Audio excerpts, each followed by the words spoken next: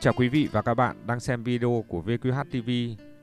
Hôm nay chúng tôi sẽ đưa quý vị đến với siêu dự án sân bay quốc tế Long Thành nằm ở huyện Long Thành, tỉnh Đồng Nai, cách thành phố Hồ Chí Minh khoảng 40 km về phía đông.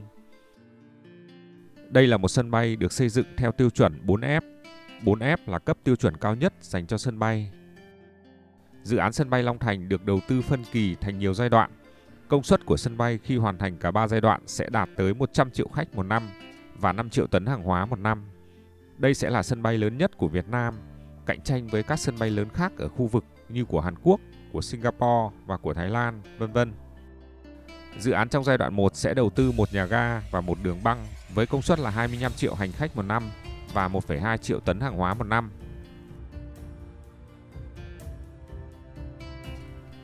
Trong video này là những hình ảnh mới nhất về tiến độ xây dựng sân bay Long Thành Công trình nhà ga hành khách được thiết kế xuất phát từ hình tượng bông sen xuyên suốt. Hình hài của một nhà ga với hình tượng bông sen đã dần dần được lộ diện thông qua hệ thống móng cọc dày đặc. Nhà ga trong giai đoạn 1 có công suất là 25 triệu khách một năm và 1,2 triệu tấn hàng hóa một năm. Nhà ga hành khách có tổng diện tích sàn khoảng 373.000 m2, bao gồm có tầng trệt và 3 tầng lầu. Được thiết kế theo công nghệ hiện đại, được áp dụng tại các nhà ga lớn trọng điểm trên toàn thế giới như nhà ga Incheon của Hàn Quốc, nhà ga New Istanbul của Thổ Nhĩ Kỳ, nhà ga Changi của Singapore. Những hình ảnh mới nhất cho thấy nhà thầu đang tiến hành thi công hạng mục móng nhà ga. Tổng số cọc nhồi cho công trình nhà ga hành khách là hơn 1.500 cọc. Chúng có đường kính từ 0,8 đến 1,2 mét. Toàn bộ số cọc nhồi trên đã được nhà thầu thi công xong. Hiện nay nhà thầu đang thi công kết cấu thép và đổ bê tông đầu cọc.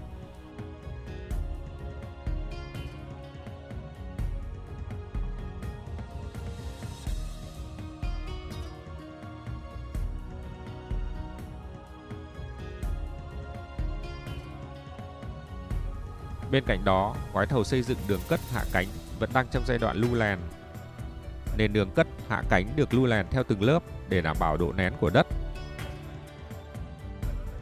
Đường cất hạ cánh trong giai đoạn 1 có chiều dài là 4.000m, rộng 75m, trong đó có 45m là đường băng, hai bên lề mỗi bên là 15m.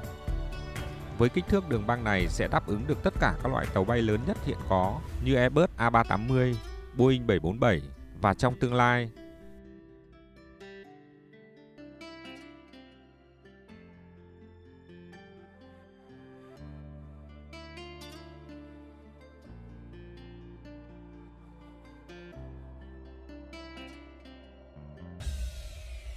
Đường lăn và sân đỗ của máy bay cũng được tiến hành song song, lưu lèn nền đất để đảm bảo tiến độ.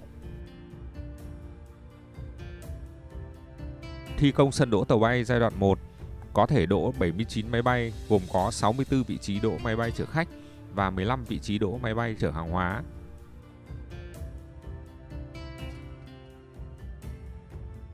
Nhà thầu đã triển khai thi công song hành, trạm kiểm soát không lưu của sân bay Tháp không lưu có chiều cao là 123 m, thiết kế theo ý tưởng một búp hoa sen khổng lồ vươn cao giữa bầu trời. Tháp được thiết kế và trang bị công nghệ quản lý điều hành bay hiện đại nhất hiện nay và có định hướng mở để đầu tư công nghệ trong tương lai.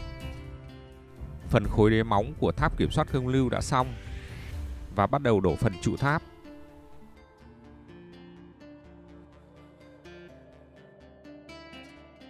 Nhìn chung tiến độ thi công của dự án đã bám sát với thực tế kế hoạch tiến độ đặt ra.